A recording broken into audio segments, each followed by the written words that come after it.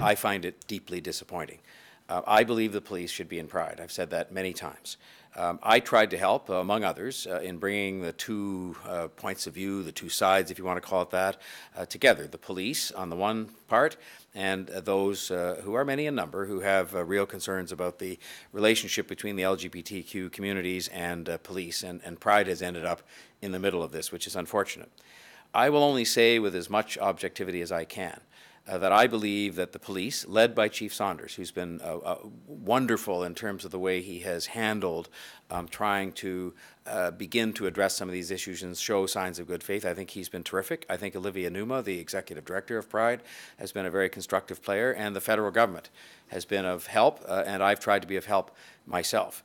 And I think that what that has resulted in is very significant signs of good faith and demonstrations and actions of good faith that have been taken by the police, by the federal government, by me, uh, by Olivia Nuamah, and, and by her board, uh, who, which, which made a decision to recommend the inclusion of the police in Pride in 2019. Um, I think that the inclusion of the police in Pride for 2019 uh, would be a positive step for a positive, beloved event, but much more it would be a sign of the good faith on the, uh, on, on, on, on the overall picture here, a sign of good faith coming uh, from the broader Pride organization to continue uh, to have us all working even harder on what I believe are legitimate, outstanding, and in some cases historic issues uh, between the LGBTQ community uh, and the police. So I will continue to use my efforts in my office as mayor to do everything I possibly can uh, to avoid this city becoming divided and polarized. We see going on in every other corner of the world on a variety of issues, including places very close to home, a lot of division and polarization on issues like this.